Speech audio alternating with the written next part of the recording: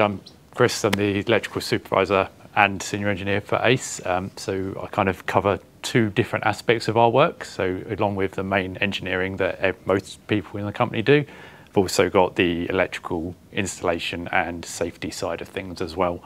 Um, so we, as I say, we've got our electrical contractor's license, so we can do all of our in-house electrical work um, and also for water corporation as well. So we can, with that, we are able to keep our standards at the ACE level of standards and the quality.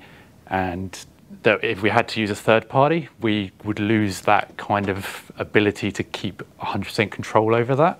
Um, so that's our main goal, having the in-house electrical contractor license. Um, also, along with being that, we've got the safety side of things. So I'm looking after the safety within ACE as well. So we do have a team of safety representatives in ACE, um, looking at the, like the fire wardens for the building and also general health and safety representatives, and maintaining those systems and improving them continuously to allow us to not have any incidents, which is always what everyone wants at the end of the day.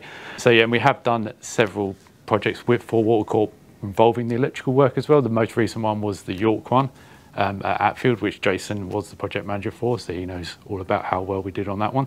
Um, as far as I'm aware, he's very happy with how we did.